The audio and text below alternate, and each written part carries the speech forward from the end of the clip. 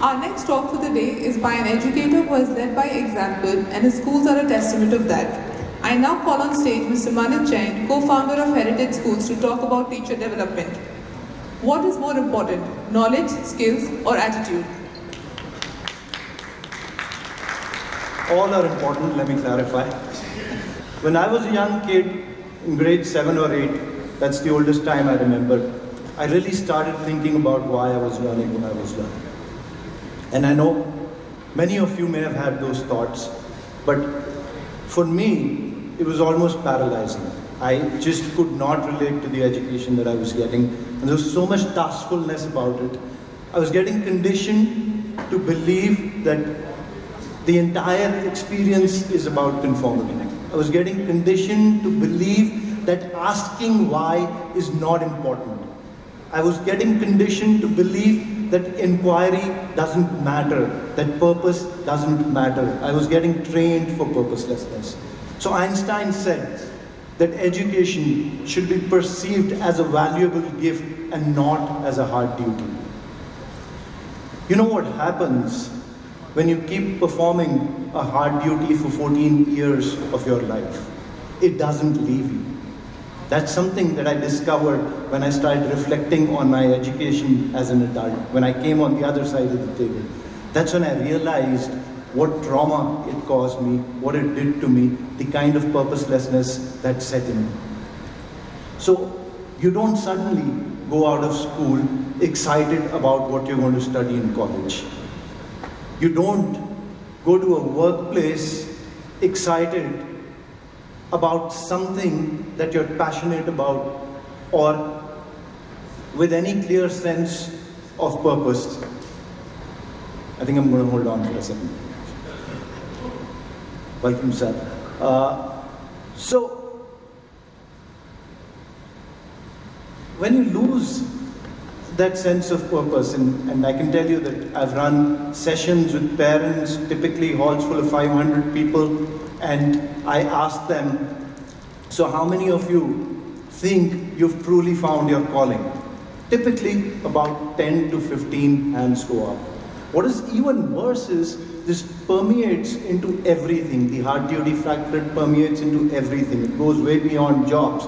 So I, if, if you think about it, many of you probably get parents who are to be trained, should I say that, on spending quality time with their children. So even that comes with a sense of duty. Something that should come with a lot of beauty actually comes with a sense of duty. Disturbed about all of these things, in the year 2004, we started our transformation journey. And it was quite a journey. For the first six months, we did everything that every other school does. A lot of trainings on literacy, on numeracy, on multiple intelligences, classroom management, talk about all of the technical things. And then we even sent our teachers for a four-day retreat. And I had really benefited from one of these retreats. And we got back, and guess what happened?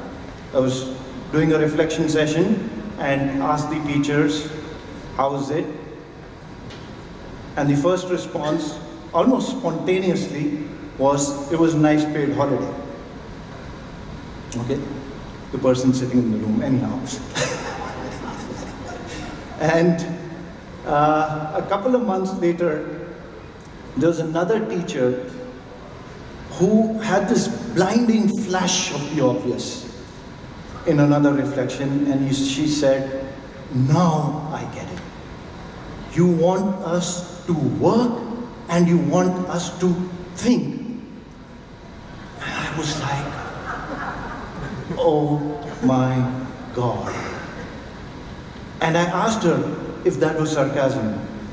And she said, No, not at all.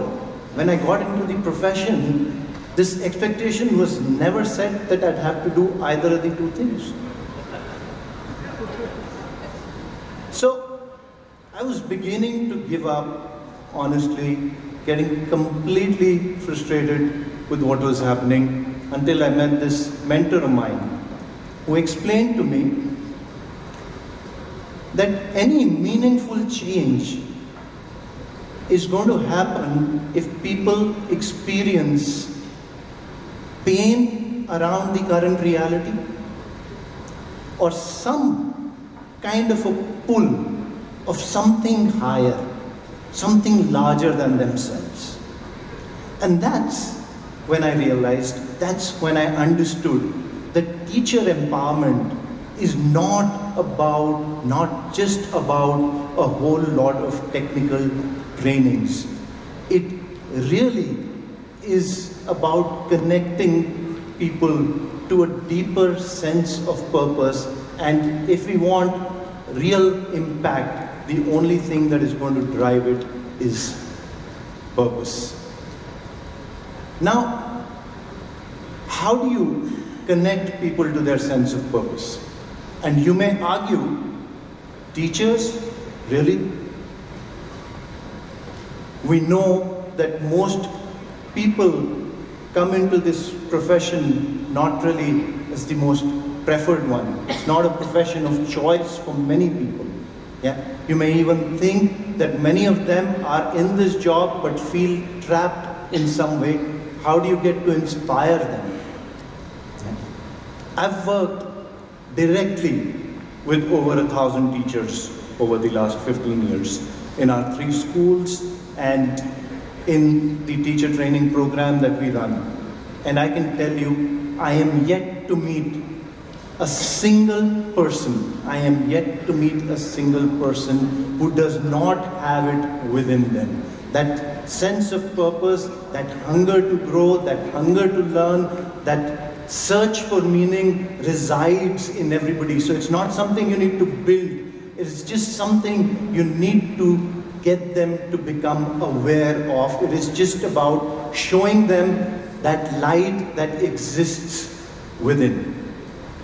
So we did, in preparation of the soil, five things.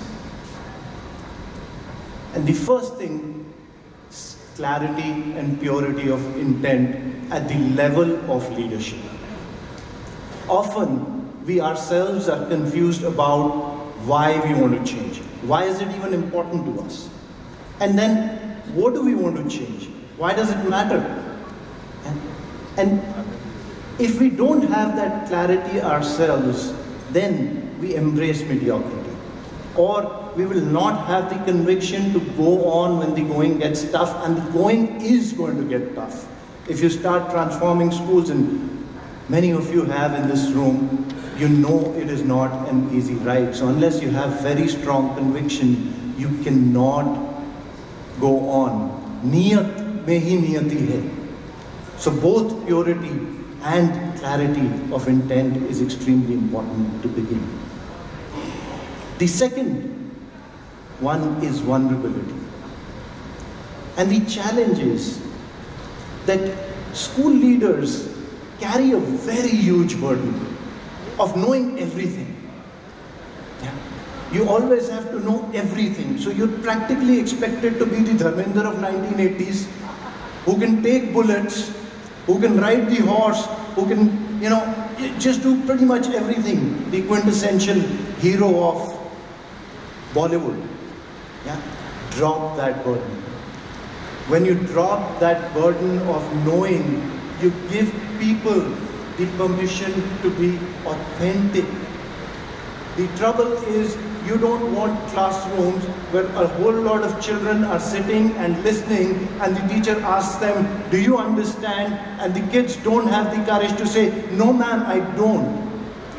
You want a school full of teachers where teachers can say, I don't know. And it is not going to happen unless saying, I don't know. For me, it was very easy. I didn't come from the education background. I decided, when I decided on the transformation, I decided I'm not going to have a school principal for three years because school principals always tell you why change cannot happen, and I don't want anybody like that in the room. Uh, that was 15 years ago, mind you. Uh, so, so it was very easy for me to say, I don't know, because my journey started from a whole lot of pain from what I knew I did not want to do. I had no clue about what else to do. And that's why that thing happened just automatically. It was just osmosis. It just just happened. So drop that burden. You'll feel powerless for some time, but then you'll feel very powerful.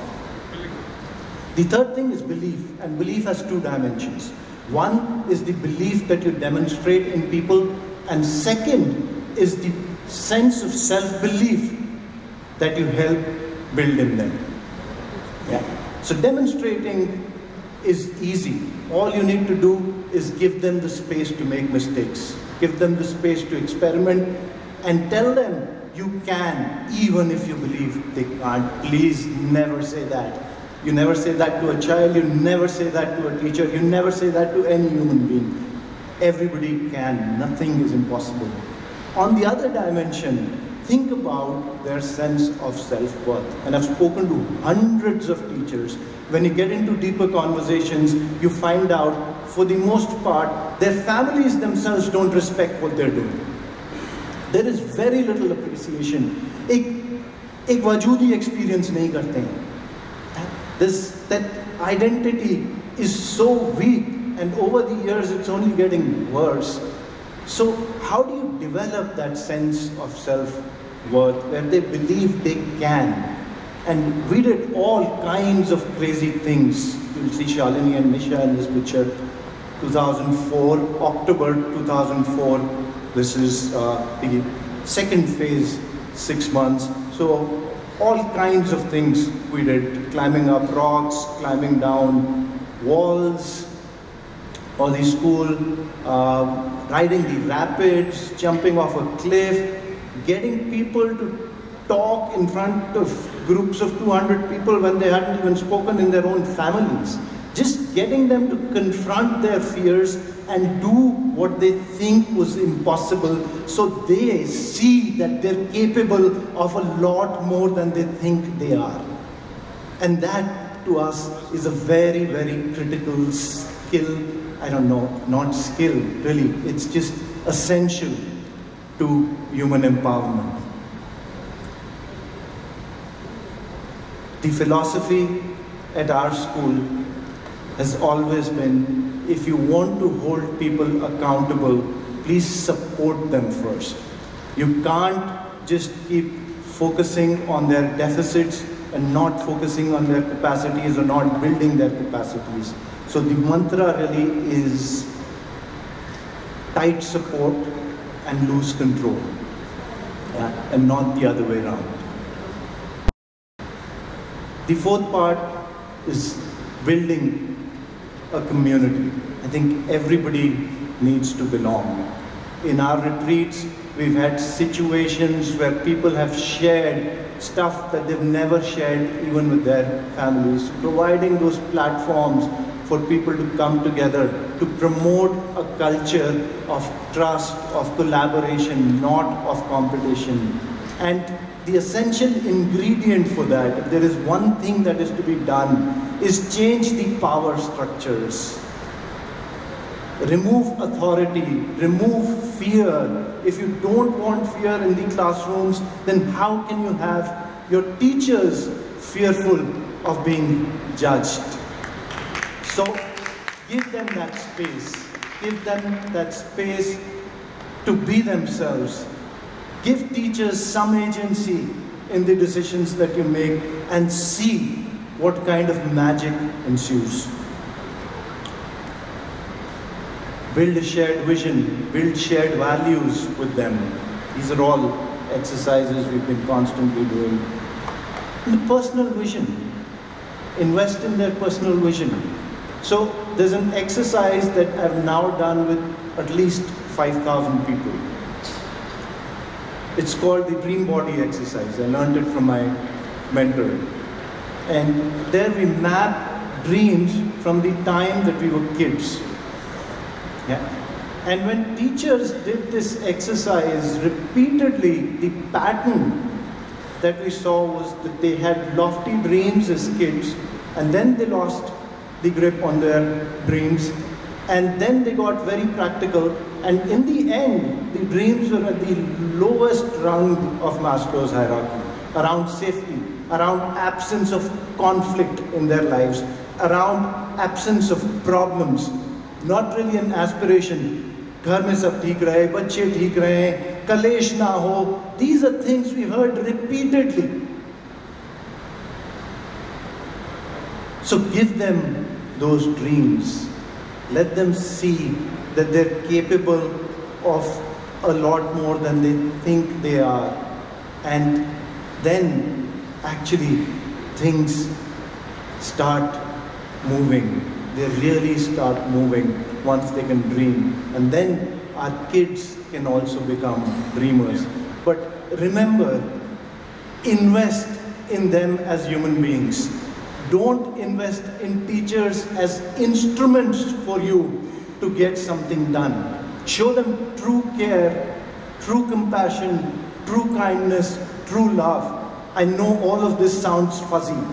I don't have tips or tricks to give you. I really am talking about stuff that has worked in my life.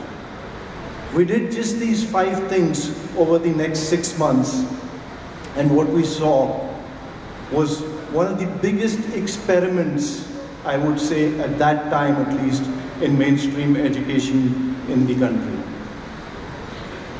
The same teacher who said it was a nice paid holiday became the head of the junior school within the next two months of making that statement. She's sitting right here, she's on the panel. Nisha said that. And the teacher who said uh, the thing about work and think is still with us, is one of the chief teacher trainers, one of the most respected teachers in our entire community. And within six months, the experiment entailed no books, no periods, no subjects, no uniform, completely project-based experiential curriculum developed in-house from scratch by our own teachers ready for six months on the 1st of April when the session began in the year 2005. You can't even imagine the power that was unleashed when we did these five things right and when we connected people to their purpose. Uh, it was just, I think it was so life transforming for all of us who were there. Uh, it just seemed so unreal. My hope for this community is that we'll provide our teachers the space to be. That we'll do with teachers what we want them to do with the kids.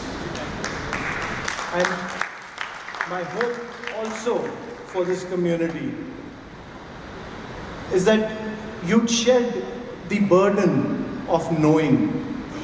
Plus, but I want you to carry another burden. Please carry the burden or the privilege you have. All privileges come with responsibilities. You're amongst the finest schools in the country.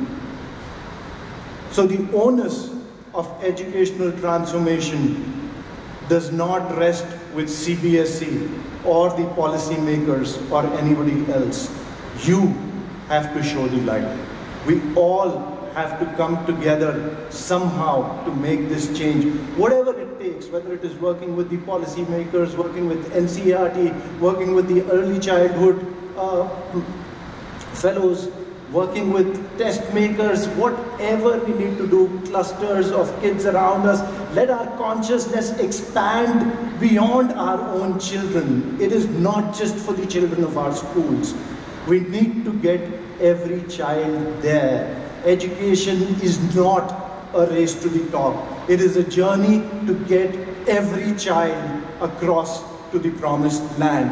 And that journey begins with finding our own deepest purpose. It begins with us. Purpose is the only thing that drives impact. Thank you. Thank you, Manit, for a wonderful session.